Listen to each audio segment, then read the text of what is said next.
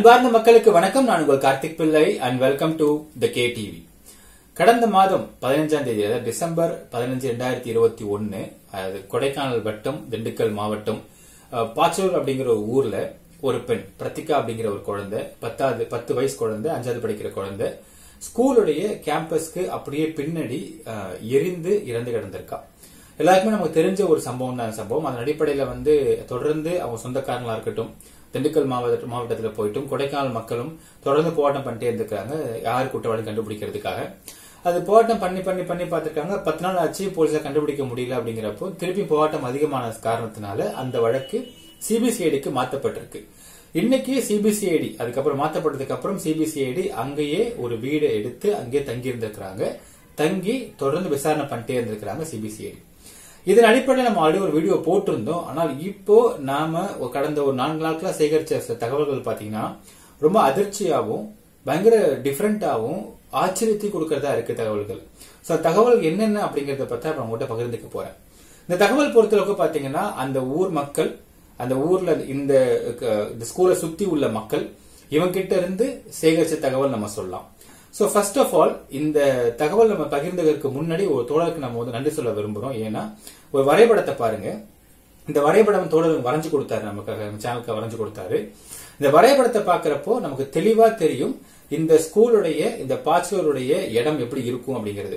இப்ப நீங்க பார்த்தா தெரியும் பாச்சலரோட என்ட்ரன்ஸ் ஒன்று காமிச்சிருக்காங்க. கீழே பார்த்தா தெரியும். என்ட்ரன்ஸ் வந்து ஸ்ட்ரைட்டா மேல போய் அந்த மெயின் ரோட்ல பாத்தீங்கன்னா மெயின் ரோட்ல வந்து ஃபர்ஸ்ட் ஒரு ஹாஸ்பிட்டல் வருது. அந்த ஹாஸ்பிட்டல் பேர் சிஎஃப் ஹாஸ்பிட்டல் சொல்றாங்க. அந்த ஹாஸ்பிட்டல் வந்து அவருடைய மெயின் பிரான்ச் வந்து திண்டுக்கல் திண்டுக்கல் இருக்கிறதாகவும் இங்க வந்து ஒரு பிரான்ச் இருக்கிறதாகவும் தகவல் சொல்றாங்க. கண்டிப்பா ஒரு ஹாஸ்பிட்டல்ல சிசிடிவி ஃபுட்டேஜ் இருக்கிறதுக்கு வாய்ப்புகள் ரொம்ப ஜாஸ்தி. நம்ம அதை பத்தி விசாரணை பண்ணலங்க பட் நம்ம ஃபர்ஸ்ட் காமிச்சிருந்த விஷயத்த. ஹாஸ்பிட்டல் தாண்டி வந்தீங்கன்னா மேரி ஸ்டோர் ஸ்டோர் ஒன்று இருக்குதுங்க. இந்த ஸ்டோர் அந்த அந்த ஊர்ல ரொம்ப ஃபேமஸ் ஸ்டோர்னு சொல்றாங்க. அந்த இடத்துல சிசிடிவி கேமரா இருக்குதுன்னு சொல்றாங்க. அங்கதான் தாண்டி வந்தீங்கன்னா Pachalur bus stop so Pachalur bus ஸ்டாப்ல இருந்து அப்படியே தாண்டி போனா மெயின் ரோட்ஸ் பிடிச்சி நேராக கொடைக்கானல் நோக்கி போயிட்டே இருக்குன்னு சொல்றாங்க. பட் இந்த மெயின் ரோடுக்கும் அந்த சைடில் உள்ள அந்த மலைக்கும் நடுவுல வந்து ஒரு ஒத்தடி பாதை மாதிரி போதுங்க ஸோ அந்த ஒத்தடி பாதை உள்ளதான் ஊருக்குள்ள வர பாதையா இருக்கு. ஸோ அப்படி உள்ள வர பாத்தீங்கன்னா முதல்ல நல்லா ஃபுல்லா வீடுகள்லாம் வருதுன்னு சொல்றாங்க. வீடுகளை தாண்டி வந்துட்டே இருந்தீங்க அப்படின்னா அந்த இடத்துல ஸ்கூல் இருக்குதுங்க. ஸோ இந்த ஸ்கூலை சுத்தி பாத்தீங்கன்னா வீடுகள் தொடர்ந்து இருக்க ஒத்தடி பாதையில லெஃப்ட்லயும் வீடு ரைட்லயும் வீடு வருதுங்க. ஸோ நீங்க அந்த பாச்சலூர் பஸ் ஸ்டாப்ல இருந்து நடந்து வரீங்க அப்படின்னா லெஃப்ட் ரைட் வீடு வந்துட்டே இருக்கு. கொஞ்சம் தள்ளி வந்தவொடனே காடு ஆரம்பிச்சிருது. சோ அந்த கார்டு லெஃப்ட்ல வந்துட்டே இருக்கு. ரைட்லயும் காடு வருது. அந்த காடு லெஃப்ட்ல பாத்தீங்கன்னா காடு தாண்டவுடனே ஸ்கூல் இருக்குதுங்க ஸ்கூலுக்கு பின்னாடியும் காடு. ஸ்கூலுக்கு ஆப்போசிட்ல உங்களுக்கு வந்து ஒரு ஒத்தடி பாதை போகுது. அது ஆப்போசிட்லயும் காடு இருக்கு. அங்க ரெண்டு கிணறு இருக்கிறதா சொல்லப்படுது. அந்த ரெண்டு கிணத்துல தான் வந்து அந்த மக்கள் தண்ணி பிடிப்பாங்கன்னு சொல்லப்படுது தகவல் நமக்கு. அப்புறம் அந்த ஸ்கூலுக்கு ரைட் அதாவது நீங்க ஸ்கூல ஸ்கூல் லெஃப்ட்ல இருக்குன்னு வச்சுக்கோங்களேன். கிராஸ் பண்ணி போயிட்டே இருக்கீங்க அப்படின்னா ஸ்கூலை கிராஸ் பண்ணதுமே லெஃப்ட் ஹேண்ட் சைட்ல ஒரு பாறைகள்லாம் இருக்குன்னு சொல்றாங்க. ஃபர்ஸ்ட் கொஞ்சம் காடு அப்புறம் சில பாறைகள் இருக்குன்னு தகவல் சொல்றாங்க. சோ இதுதான் டோட்டல் செட்டப் அந்த அந்த பாச்சலோட செட்டப்பா இருக்குங்க. சோ இங்க வந்து அந்த பிரத்திகாவுடைய குழந்தையுடைய வீடு பாத்தீங்கன்னா அந்த மேரி ஸ்டோருக்கு கொஞ்சம் முன்னாடி இருக்குன்னு சொல்றாங்க. சோ மேரி ஸ்டோர் தாண்டி தான் சாரி தாண்டி இருக்கு. சோ அந்த குழந்தை எப்படி வரணும்னா அந்த அந்த அஹ், வீட்ல இருந்து ரோட கிராஸ் பண்ணி ஒத்தடி பாதை உள்ள பூந்து நேரா வந்தா ஸ்கூல் வந்துருதுங்க. இதான் டோட்டல் செட்டப்பா இருக்கு. இப்போ அந்த ஸ்கூலுடைய லெஃப்ட் ஹேண்ட் சைடுல காடு ரைட் ஹேண்ட் சைடுல காடு அப்புறம் பாறை. பின்னாடியும் காடு முன்னாடி ரோடு ரோட தாண்டி வந்து காடு. ஸோ இதான் டோட்டல் செட்டப்பா இருக்குங்க. இப்போ அடுத்து ஸ்கூலோட வரைபடத்தை கொஞ்சம் பாருங்க. ஸ்கூல் வரைபடத்தை பொறுத்த அளவுக்கு அந்த ஸ்கூல்ல நம்ம எல்லாருமே வீடியோல பார்த்துருப்போம் இல்லைங்களா? ஒரு ஒரு ஓட்டு இது மாதிரி இருக்கும் ஃபுல்லா வெளியே வந்து பேசேஜ் மாதிரி இருக்கும் பாருங்க. அதுதான் மெயின் ஸ்கூலுங்க அந்த மெயின் ஸ்கூல்ல பாத்தீங்கன்னா இப்ப அங்கிருந்து எயித் சிக்ஸ்த் டு எயித்து படிக்கிற குழந்தைங்க இருக்கிற படி அந்த படிக்கிற கிளாஸ் ரூம் அங்க நம்ம காட்டியிருக்கோம். அதுல இருந்து ஃப்ரண்ட்ல பாத்தீங்கன்னா அந்த கிச்சன் இருக்குதுங்க. ஸோ கிச்சனு ஸ்கூலு ரெண்டுத்துக்கும் அந்த கிச்சன்ல இருந்து பார்த்தா அந்த uh, பிரத்திகா வந்து அந்த கடந்த இடம் தெரியும். சிக்ஸ்த் டு எயித்து படிக்கிற குழந்தைங்க இருந்து பார்த்தாலும் அந்த பிரத்திகா வந்து கடந்த இடம் தெரியும். ஸோ ரெண்டு பேருக்குமே அது ரொம்ப uh, ட்ரையாங்கிளா வர மாதிரி இருக்கு அந்த இடம். அந்த சிக்ஸ்த் டு எயித்து படிக்கிற குழந்தைங்க அப்புறம் தான் மற்ற கிளாஸஸ் இருக்குதுங்க. ஸோ நம்ம ஜென்ரலாக நினைக்கிற மாதிரி கிளாஸஸ் வந்து ஒவ்வொரு ஸ்டாண்டர்டுக்கும் ஒவ்வொரு கிளாஸஸ் இருக்காதுன்னு சொல்றாங்க. ஒரு பெரிய ஹால் இருக்கும்? அந்த ஹாலில் வந்து தேர்ட் படிக்கிற குழந்தைங்க செகண்ட் படிக்கிற குழந்தைங்க ஃபர்ஸ்ட் இந்த மாதிரி வந்து கும்பல் கும்பலாக உட்காந்துட்டு இருப்பாங்களாம். எல்லாத்துக்கும் ஒரே டீச்சர் தான் வருவாராம். டீச்சர் எல்லா எல்லா கிளாஸ் எடுப்பாருன்னு சொல்றாங்க. ஸோ ஃபர்ஸ்ட் இங்க எடுத்துட்டு இங்க பாடத்தை எழுத சொல்லிட்டு அப்புறம் இந்த கும்பல போய் பாடத்தை எழுத சொல்லிட்டு அந்த மாதிரி தான் வந்து கிறிஸ்துவாஸா போயிட்டு இருப்பாருன்னு சொல்றாங்க தகவல் நமக்கு. இதுதான் டோட்டல் செட்டப் அங்க. இப்ப ஃபர்ஸ்ட் விஷயம் அந்த குழந்தை எப்படி இருந்தது அந்த இடத்துல அப்படிங்கறத ஃபர்ஸ்ட் நம்ம பாத்துடலாங்க அந்த குழந்தை எரிஞ்சது பாத்தீங்கன்னா தலையில இருந்து எரிஞ்சிருக்குங்க. எரிஞ்சு இடு தொடை வரைக்கும் எரிஞ்சிருக்குன்னு சொல்றாங்க. கை எரிஞ்சிருக்கு. ஆனால் அந்த பொண்ணு டெட்ட ஜடை போட்டிருக்கா. ஜடை எரியல. பின்னாடி ஃபுல்லா முடி எரியல. கீழே ஃபுல்லா முதுகுலாம் எரியல. கீழ்பாகம் ஃபுல்லா எரியாம இருந்திருக்கு. தொடையெல்லாம் எரியாம இருந்திருக்கு. ஒண்ணு. ரெண்டாவது அந்த பொண்ணு கடந்த இடத்துக்கு கீழே பாத்தீங்கன்னா ஃபுல்லா வந்து காஞ்ச சருகு இருந்திருக்குங்க. ஆனால் அந்த காஞ்ச சருகு ஒரு பொட்டு கூட எங்கேயுமே எரியப்படவே இல்லைன்னு தகவல் சொல்றாங்க. அடுத்து இந்த பொண்ணுக்கு லெஃப்ட்ல வந்து ஒரு மேட்ச் பாக்ஸ் போடப்பட்டிருக்கு. புது மேட்ச் பாக்ஸ் இந்த பக்கம் வாட்டர் பாட்டில் கிடந்திருக்கு. ரெண்டு விதமா சொல்றாங்க. வாட்டர் பாட்டில் எரியாம இருந்ததும் ஒரு தகவல் சொல்றாங்க. ஏன்னா அந்த பசங்க வந்து அந்த வாட்டர் பாட்டில் எடுத்து மோந்து பார்த்ததாகவும் பெட்ரோல் மாதிரி இருக்கு மிஸ் சொன்னதாகவும் தகவல் சொல்றாங்க. சில பேர் வந்து எரிஞ்சது லைட்டா எரிஞ்சது வாட்டர் பாட்டிலும் தகவல் சொல்றாங்க. ரெண்டு விதமா தகவல் வந்து சொல்றாங்க பாத்தீங்கன்னா. சோ நம்ம இந்த இடத்துல பாத்தீங்கன்னா அந்த பெண் தன்னையே வந்து ஊத்தி மாச்சிக்கிட்டு இருந்தா அப்படின்னால் நிச்சயமா அந்த இடத்துல அந்த வத்தி பெட்டி எரிஞ்சு எரியப்பட்டிருக்கணும். அடுத்து வாட்டர் பாட்டில் எரியப்பட்டிருக்கணும். எல்லாத்துக்கும் மேல அந்த கீழே கடந்த சருகெல்லாம் வந்து எரிஞ்சிருக்கணும். காஞ்ச சருகு டக்குன்னு வந்து பத்திக்கும்.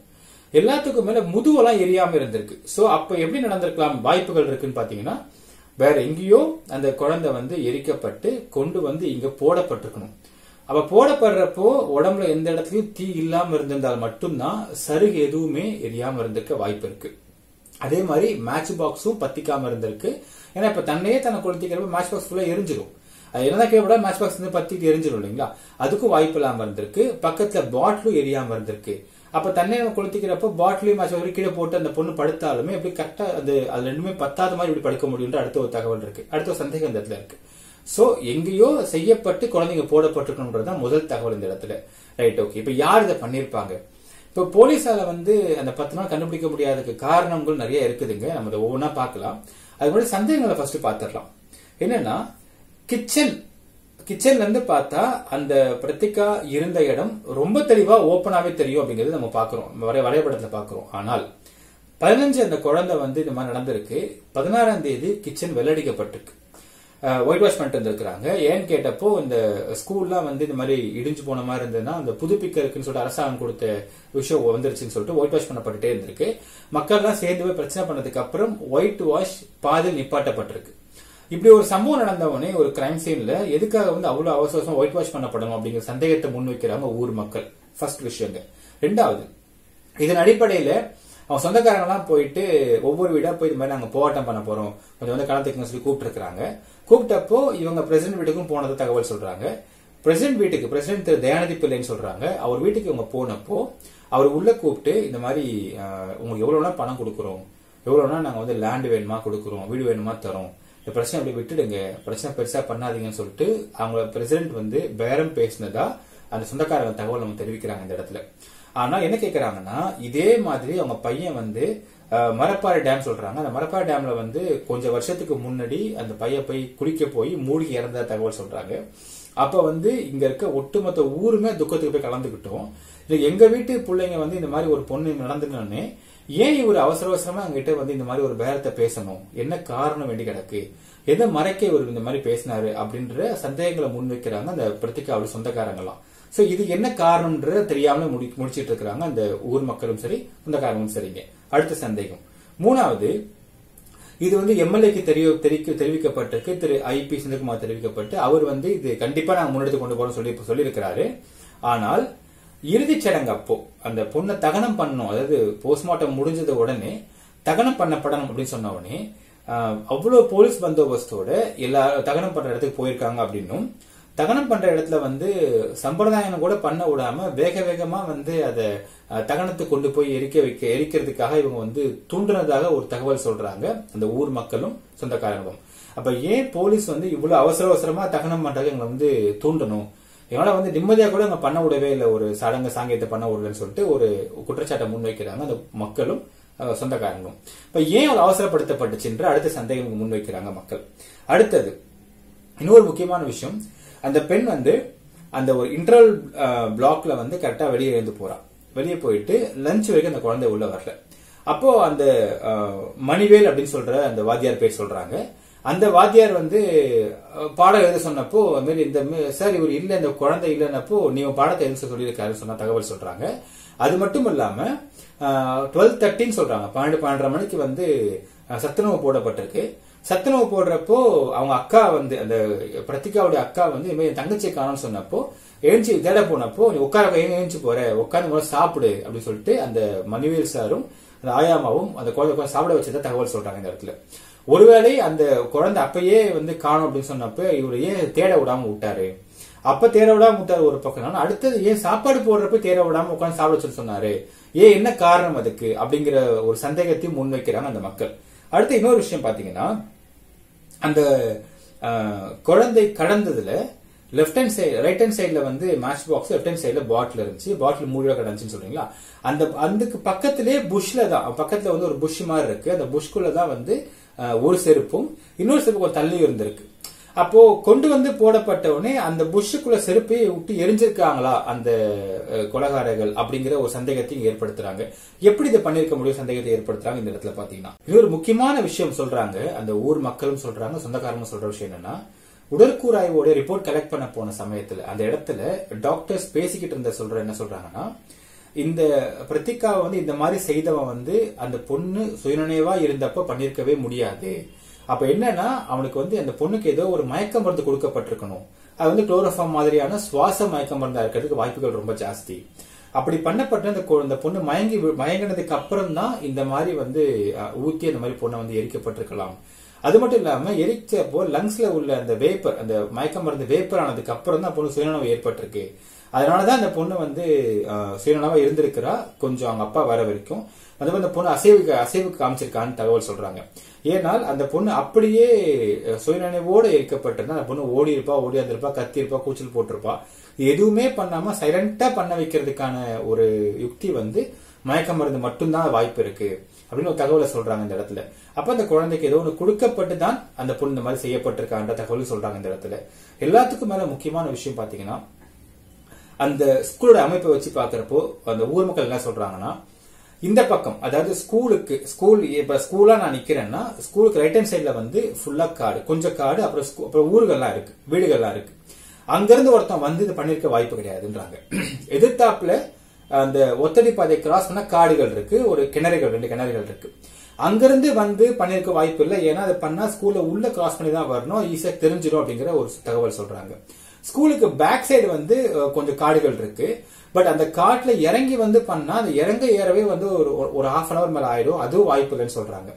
என்ன சொல்றாங்கன்னா ஸ்கூலுக்கு லெஃப்ட் ஹேண்ட் சைடு அதாவது நீங்க ஸ்கூல்ல நான் ஸ்கூலா நான் நின்னா ஸ்கூலுக்கு லெஃப்ட் ஹேண்ட் சைடுல பாறைகள் இருக்கு இல்லைங்களா? இந்த காடு பாறைகள். அங்கிருந்து ஒருத்தன் வந்து இந்த மாதிரி செய்து செய்யறதுக்கான வாய்ப்புகள் ரொம்ப ஜாஸ்தி இருக்கு அப்படின்னும். இது செஞ்சவன் வந்து உடனடியா பார்த்து உடனடியா முடிவு பண்ணி செஞ்சவனா எனக்கு வாய்ப்பு இல்லை அப்படின்னும். ஒரு நோட் பண்ணிட்டு கரெக்டா பிளான் பண்ணி இதை பண்ணிருக்கானும் தகவல் சொல்றாங்க ஊர் மக்கள். எல்லாத்துக்கும் மேல அந்த ஊர்ல வந்து கஞ்சா எடுக்கிறவங்க நிறைய பேர் இருக்கிறாங்க அப்படின்னும். அந்த கஞ்சா எடுக்கிறவங்க கொஞ்சம் விசாரிச்சால் இந்த விஷயம்னா இவ்வளவு கொடூரத்தனமா ஒரு விஷயத்த பண்றதுக்கு வந்து அவனும் சுயநினைவா இருந்திருக்க முடியாமல் இருக்கலாம் தகவல் சொல்றாங்க. ஒரு சந்தேகத்தை முன்வைக்கிறாங்க. சோ கஞ்சா எடுக்கிறவங்க அங்க உள்ள உள்ளவங்கள விசாரிக்கப்பட்டால் இதுக்கு ஒரு தீர்வு கிடைக்கிறதுக்கான வாய்ப்புகள் இருக்கு அப்படின்றது ஊர் மக்களுடைய ஒரு சந்தேகமா இருக்கு. சோ இந்த விசாரணை இந்த அடி- இந்த இடத்துல இருக்கு இந்த அளவுக்கு இருக்குதுங்க. ஒரு த ஒரு பாயிண்ட் ஆஃப் டைம்ல வந்து அந்த பேரண்ட்ஸ் மேலும் சந்தேகம் எழும்ப எழுப்பியிருக்காங்க எழும்பப்பட்டிருக்கு. சோ பேரண்ட்ஸ் வீட்டையும் போய் செக் பண்ணிருக்காங்க ஃபுல்லா சர்ச் பண்ணப்பட்டிருக்கு. அதுல வந்து அவங்களுக்கு எந்த வித ஆதாரமும் கிடைக்கலன்னு ஒரு தகவல் சொல்றாங்க கிடைச்சதுன்னு ஒரு தகவல் சொல்றாங்க. இன்னும் ரெண்டு விதமா இருக்கு நமக்கு இந்த இடத்துல. ஆனா காவல்துறையை பொறுத்தளவுக்கு நாங்க எண்பது பர்சன்ட் விசாரணையை முடிச்சிட்டோம் அப்படின்னு சொல்லி தகவல் சொல்றாங்க அப்படின்னு சொல்றாங்க. என்ன முடிக்கப்பட்டிருக்கு என்ன தகவல் கிடைக்கப்பட்டிருக்கு? இது உண்மையான குற்றவாளி யார் அப்படிங்கறது எல்லாத்தையும் இன்னும் கொஞ்சம் பொறுத்திருந்து பார்க்கலாங்க. எது உண்மை அப்படிங்கறது வெளியே சீக்கிரம் வந்துடும் வெயிட் பண்ணி பார்க்கலாம். நன்றி வணக்கம்.